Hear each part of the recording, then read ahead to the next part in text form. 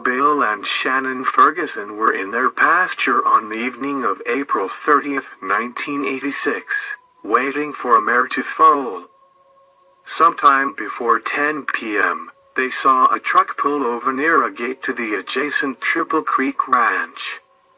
They saw someone get out of the truck, heard a chain rattle on the gate, and saw the truck go through the gate and onto the ranch.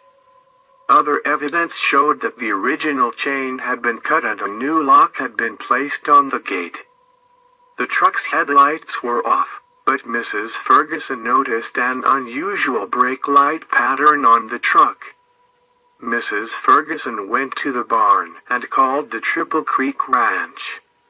She spoke to the wife of Jim Hazelton, the ranch manager, and told her that a burglary might be taking place because a truck had entered the ranch with its lights off. Mrs. Hazelton told Mrs. Ferguson that her husband would be right out.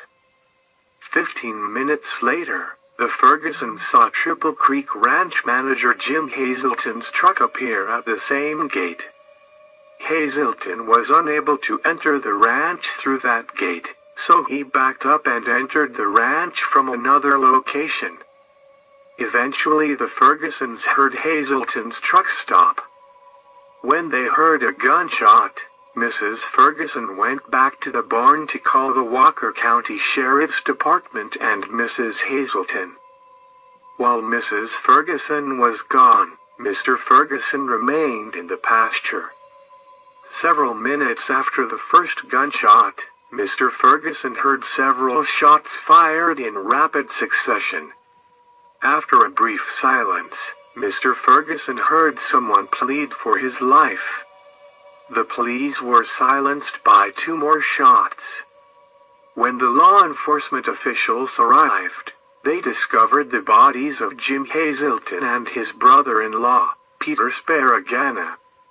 Mrs. Hazelton was Peter's sister. Walker County Deputy Sheriff Alan McCandless saw a truck matching Shannon Ferguson's description of the truck driven by the intruders in Gary James Johnson's pasture after the shootings. And he saw Johnson driving the truck numerous times. Another law enforcement officer testified that two of the lights on the back of Johnson's truck were removed in the two weeks after the murders. Johnson and his brother Terry Dell Johnson were arrested for the murders two years later. Three of Johnson's brothers, Tracy, Randy, and Ricky, testified for the state at trial. Tracy testified that Johnson came to Missouri during the fall of 1986, returned Tracy's 44 caliber pistol, and asked Tracy to destroy it because the gun had been used in a double murder in which Johnson and another brother, Terry, participated. Ricky testified that, during that same visit to Missouri, Johnson was in possession of the 44 caliber pistol. He admitted killing one man with the gun. And he said that he and Terry also killed a second man.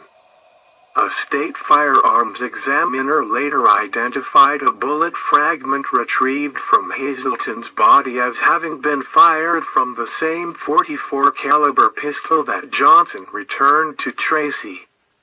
Randy testified that Johnson told him that Johnson and Terry were out at the Triple Creek to steal a welder, tires, livestock feed and other items when two men got the drop on them. While Terry distracted them, Johnson shot one of the men. Johnson and Terry caught the other man, brought him back to the barn, made him kneel, and tied his hands behind his back. And while the second man pleaded for mercy, Johnson shoved the gun in his mouth. The medical examiner testified that Jim Hazelton died from a contact bullet wound to the mouth. Randy testified that Johnson told him the two men were killed because dead mean don't talk. The defense called Johnson's brother, Terry, as a witness. Terry testified that Gary Johnson killed both of the victims. He testified that his brother Gary's favorite expression was kill them all. Let God sort them out. The defense also presented testimony from two inmates in the Walker County Jail that Terry Johnson told them that he had killed both of the victims.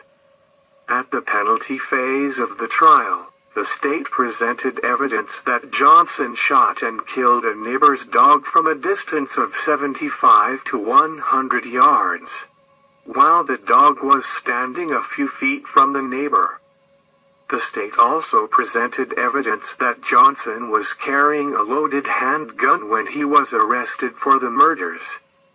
Johnson's uncle testified for the defense at the penalty phase that he had never seen Johnson act violently. Johnson's former boss and a co-worker testified that Johnson was hard-working, respectful, and non-violent. Johnson's ex-wife testified that Johnson was never violent toward their children, and never drank or used drugs. The jury found that Johnson had acted deliberately and with a reasonable expectation that death would result, and that it was probable that Johnson would commit future acts of criminal violence that constitute a continuing threat to society. The trial court sentenced to Johnson to death. Co-defendant Terry Dell Johnson was convicted of murder and sentenced to 99 years after testifying against his brother and accepting a plea bargain to avoid a death sentence. A Walker County jury sentenced Johnson to death in August 1988 for the murders of Peter Sparagana, 23, and James Hazelton, 28, at the Triple Creek Ranch located about 10 miles west of Huntsville off State Highway 30. After more than 20 years on death row, convicted murderer Gary Johnson was executed for the shooting deaths of two men at a Huntsville area ranch in 1986. Johnson, 59, the second to die by lethal injection in Texas that year was pronounced dead by Texas Department of Criminal Justice officials at 6:26 p.m. on the 12th of January 2010. Just 11 minutes after the lethal dose began at 6:15 p.m. Hazelton's brother, George, was the only family member to observe Johnson's execution standing just a few feet away and watching through a glass window in silence. At first declining offers to make a last statement, Johnson directed his comments to family members and friends in the personal witness room, including his daughter, a brother and sister-in-law and friends. Tell my family goodbye, he said, you tell the rest of them what they did was wrong for letting me fall for what they did. I never done anything in my life to anybody. Those are his last words. Thank you for watching Death Row.